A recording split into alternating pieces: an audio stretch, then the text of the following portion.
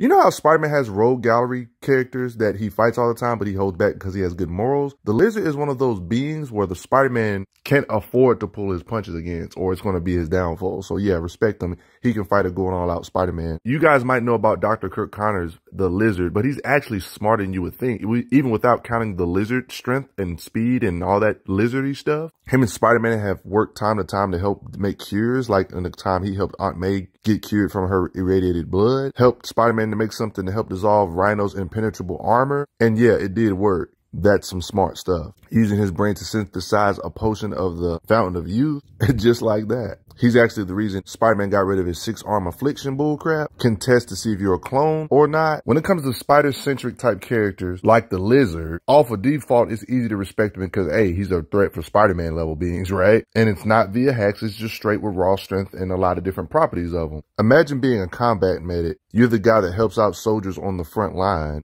But then, uh, then something tragic happens and your arm gets jacked up. Couldn't do his job properly no more. So he basically became obsessed with getting that arm back and regrowing it at all costs, doing a whole bunch of research, formulas. And thanks to all this research, he actually became successful creating a formula to get his arm back. But the big catch is that getting his arm back, he became a lizard in the process. Marvel pretty much gives you an explanation of his life here. We already know he has superhuman strength, speed, regeneration. Lizard even made a drug to make other folks lizard-like so they can follow his command and stuff like that, which I'm going to talk about later on. Dr. Connors went through some interesting evolutions. Like, he has like literally a berserker mode to where he kind of loses all logic, lizard mode, but then he has other relaxed modes that are still technically pretty savage still, but not as animalistic as this. And a lot of this is due to the different evolutions that he has had to go through, like the fact he's been bit by Morbius, a vampire. Part of his evolution is thanks to him becoming more cunning and not just more savage. Improvements. The lizard is like a separate psyche from him to the point where he made them think that the lizard was cured out of his system when he really wasn't. He had to blend in in order to survive his environment because he knew he was outnumbered. Spider-Man, Morbius, blah, blah, blah.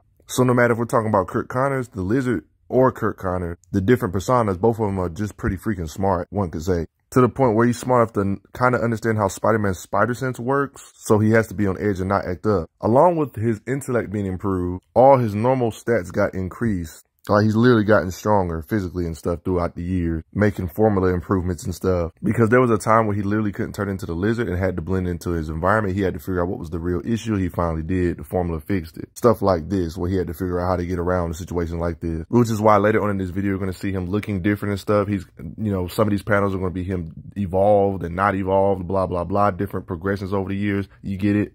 So when you see panels like this later on in the video, he's definitely stronger than he usually would be. This is why you see him giving Spider-Man a run for the money. Straight faster and stronger. So he has went through power progression over the years. The lizard had some interesting abilities when he was the lizard, like being able to command other lizard, crocodile family type of stuff. Like in this case with Spider-Man summoning some reptile, Spidey. Same with Man-Thing, it's like telepathy telling him what to do. Hey, reptiles attack Spider-Man like, bruh. Let me command a whole bunch of crocodiles to fight with me. They explained it with some science. Under mindfulness, Connors developed new versions of the serum, unleashing inhibitions and making the victim susceptible to my command. Like this is some scientific type stuff to kind of control folk and gives off a pheromone in humans will by default make them more violent. This guy even said, let me make a whole bunch of people turn into savage animals because of telepathy, apparently, by activating their lizard brain making people crazy. Commands a crowd to attack Spider-Man, making folks go berserk. This weird ability is explained right here about how people are just getting controlled like this. When it comes talking about the lizard, they say nowadays lizard's proximity brings out the brain's primitive reptilian instincts. In other words, when he's near you, you get impulsive, you follow base urges, your ID kicks your super ego in the face. Spider-Man basically explains thanks to this little aura he gives off, characters like Doc Octopus kind of get stupid because their base impulses are kind of pushed to the side. I mean, your logic kind of gets pushed to the side. You just kind of start acting like wow. But how exactly strong is the lizard though? He's always usually lizard form when he does physical impressive things, but sometimes when he's like almost in the process of powering up, he can do superhuman stuff. Like for example, he's not in lizard mode, but he's still able to dodge a vampire tier attacks like Morbius. Spider-Man has issues reacting to blizzards from Morbius. He's actually strong enough to hold characters like Beast down. He's not afraid to use his tail in combat to restrain you. Strong enough to rip up a concrete beam and throw it. Even entities that's made of his DNA, he can mess their neck up. He can tear steel door off his hinges like cardboard. Of course, he can sling cars. Same with throwing bulldozers Poor snakes never stood a chance. Crocodile, poor jaws for the crocodiles. I feel bad for them because they get pulled apart. Hey, car, I'm going to flip you on your side. Let me just pick up these motorcycles and sling them in the opposite direction. And he's strong for his size because even if you're bigger, he will still manhandle you. In this occasion, he broke Man-Thing's grip, tearing apart ships and slinging it at Johnny Storm, ripping pieces of buildings off and throwing it. The best way to get an understanding of his strength is his occasion with Spider-Man because he's a spider-centric character. Spider-Man has a hard time getting out of his vice grip of his tail, getting slung like that. It's like an extra limb, one could say. Flipping cars like toys, forever ripping metal off the roofs of stuff, bending the rail off the railroad track, tears the door off a safe, forever throwing big stuff at Spider-Man, forever breaking out of Spider-Man's web more than once, with his tail can break a tree trunk with the striking power, tears a tree, and like this, he's actually went through evolutions where his appearance might actually change a bit. Tears himself out of some webbing, bursting through walls, manhandles beings related to Kraven, another metal door, no hinges for you, many fights with Spider-Man, and craters the ground. When the lizard claimed that he is stronger than Spider-Man, he said, man, he's right. Spider-Man even went as far as saying his strength is unbelievable. I mean, this kind of makes sense with the million times they fought and the fact that his tail can severely harm him. Spider-Man actually needs to actually not pull his punches against him. When it comes to raw strength, I've always considered the vampire and spider family symbiote tiers to be around the same range when it comes to strength. And it's kind of proven when the occasion you see the lizard battle with vampires like Morbius. It kind of matches up with the lore and how vampire tiers like Morbius always give Spider-Man issues and etc.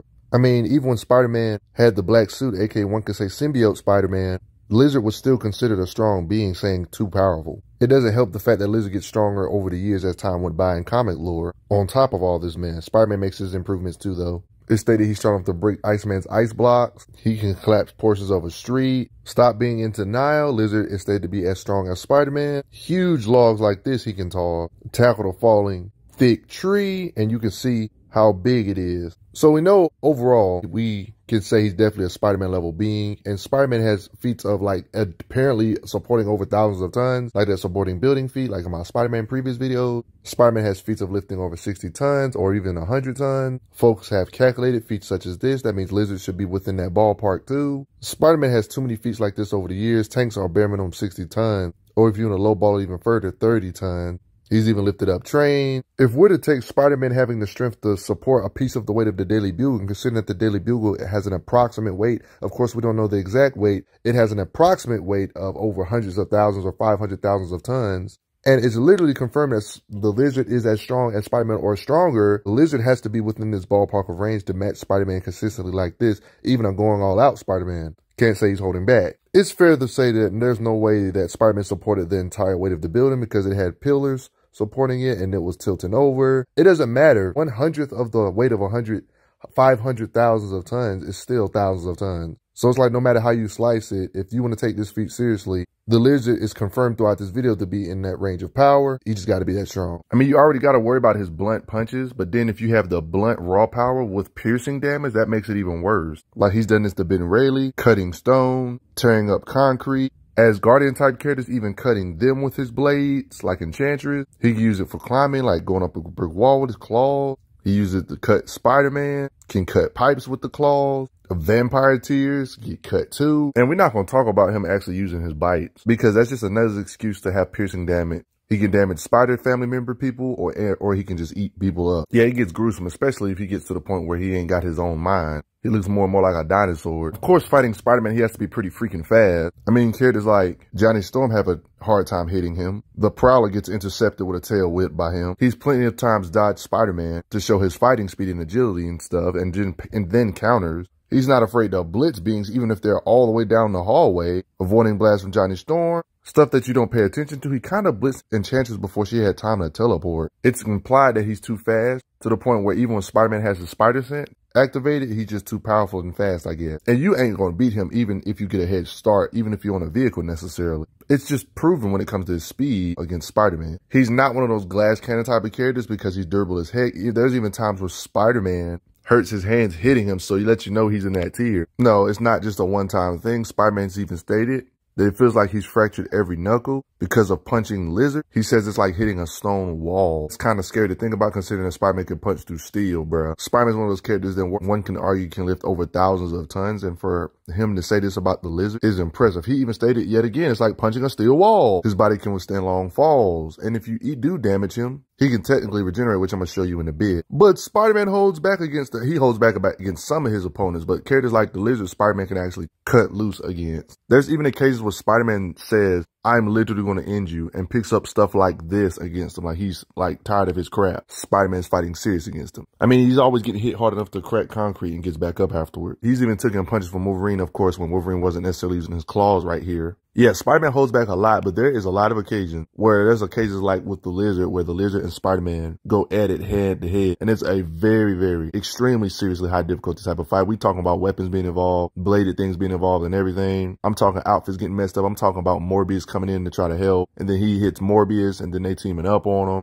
it's just getting real. They work together to take him on, take him down. And he's took straight on punches like this from Spider-Man. And it's just like, what are you doing? Withstanding attacks from Doc Ock, other Rogues Gallery Spider-Man type characters that are underrated. One thing that's different from him and Spider-Man is that he's actually withstood bullets. Like, I'm not talking about they actually pierce him, but he just heals real fast. I'm talking about they literally bounce off of him. Even early days, I'm talking about shotgun blasts too. His regeneration is absurd, like being stabbed through the brain. Still doesn't necessarily get killed. He might get knocked out or something, but not killed. There's little moments like this that a lot of people don't pay attention to, being resistant to some form of heat. Even when Johnny's being flamed on, it doesn't really seem to do damage to him based on the heat. And the lizard reacts to. Resistant to other things like electricity, but not immune, of course. Yeah, I want to make something clear. He's very strong and durable, but he's not indestructible or nothing. Characters like Man-Thing can mess him up badly. Wolverine, when he decides to use his claws, can actually cut off his tail and damage him real bad. Mean, Wolverine can cut anybody, so. And he's even gotten cut by Black Cat. Her claw, somebody that's also spider-centric. He's been knocked out by electrocution even fried by higher tiers like Enchantress. But here's the thing, it's possible to knock him out and it's possible to get a W, but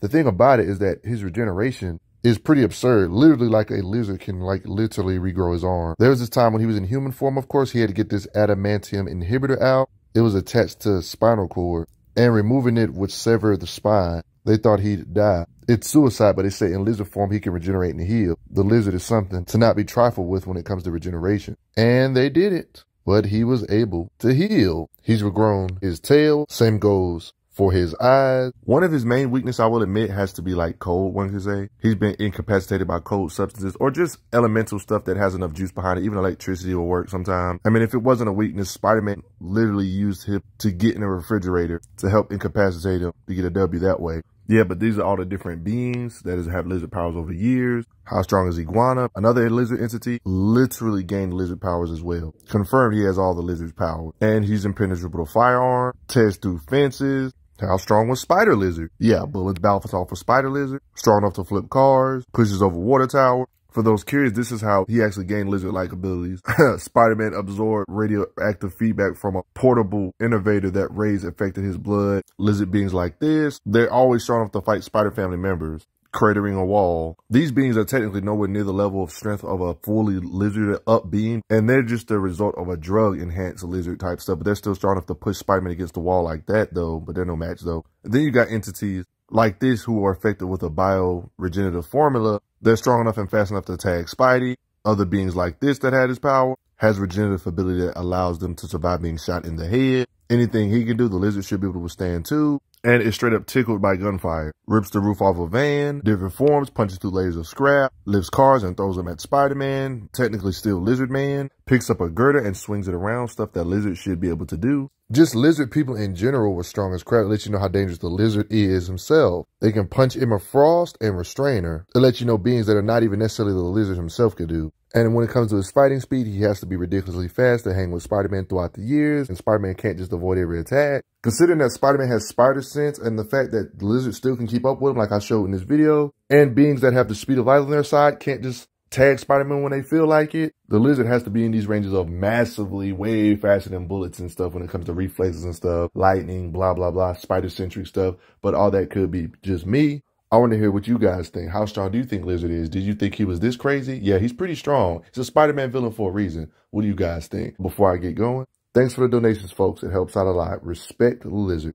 I'm glad you are enjoying your time on the channel. Make sure you check out the playlist on the channel to see other How Strong videos. If you like what this channel is offering, make sure you hit that subscribe button and I will see you guys later.